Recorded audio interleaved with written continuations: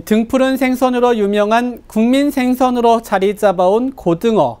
하지만 최근에는 주부들이 시장에서 고등어를 잘 안 산다고 합니다. 요리를 할 때 가장 많은 미세먼지를 배출하는 음식이 고등어 구이라는 발표가 나오면서 이 수산물 시장이 적잖은 타격을 입고 있습니다. 보도에 김중혁 기자입니다.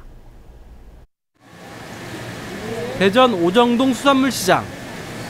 길게 늘어선 자판에 싱싱한 해산물들을 사기 위해 많은 시민들이 모이는 곳입니다. 이곳을 찾는 시민들의 관심에서 외면받고 있는 생선이 있습니다. 바로 고등어입니다. 이 고등어들에겐 가게를 지키는 주인들이 연신 물만 들이붓습니다. 지난달 23일 환경부에서 발표한 요리할 때 미세먼지가 가장 많이 나오는 음식이 고등어구이라는 소식 때문입니다.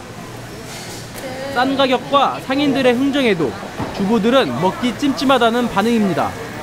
처음에 매스컴을 탔잖아요. 그죠? 고등어 구우면은 뭐, 뭐, 환경 호르몬이 엄청나게 나왔다고 그래가지고 조금 끓였지.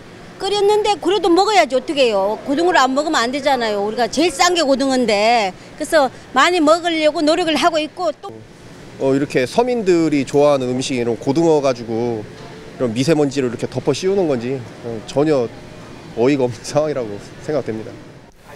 고등어에 대한 부정적인 시각이 대전 지역 수산물 시장 소비 심리 위축으로 이어졌습니다. 수산시장에서 고등어를 판매하는 상인들은 뚝 끊긴 손님들의 발걸음에 울상을 짓고 있습니다.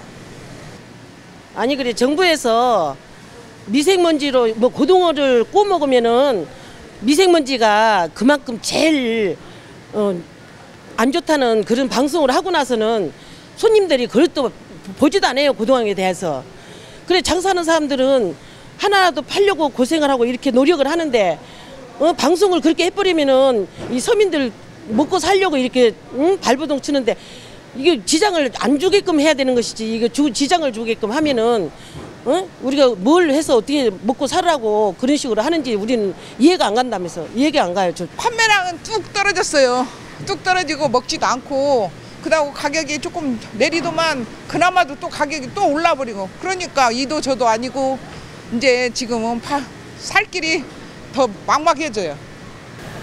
미세먼지 주범으로 몰린 고등어. 뒤늦게 정부는 우리 수산물의 안정성을 밝혔지만 금어기 뒤 대목을 기대하던 어민들의 우려 속에 소비자들은 혼란을 겪고 있습니다. CNB 뉴스 김주혁입니다.